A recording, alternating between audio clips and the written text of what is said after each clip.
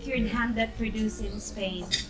So after weaning, these piglets are fattened and burly and raised for several weeks, and they allowed to roam and pasture to feed natural with acorns, herbs, and roots. So mainly, their food of the pigs is acorn. Orange segments, we have some Grand Marnier or the orange liqueur.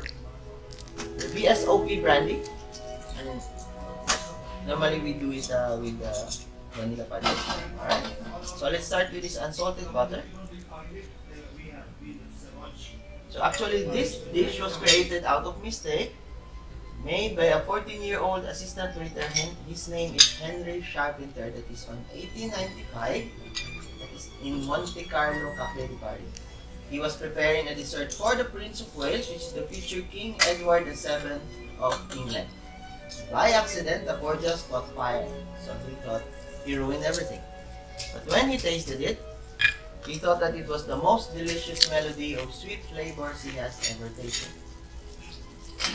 So to cut the long story short, the prince ate the pancake using a fork, but he finished it off using a spoon to capture the remaining syrup. So he loves it so much, that's when he asked Henry the name of this dessert.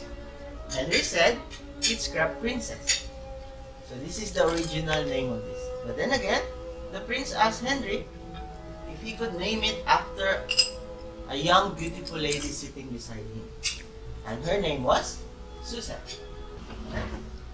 Just don't forget the Grand Marnier.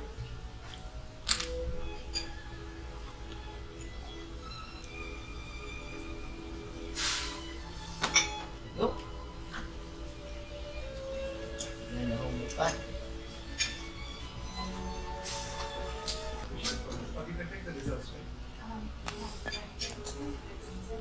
Just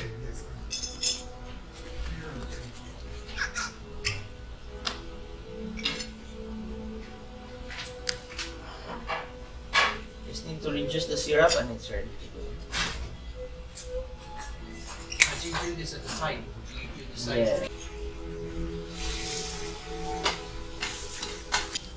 It's almost ready. Let's just move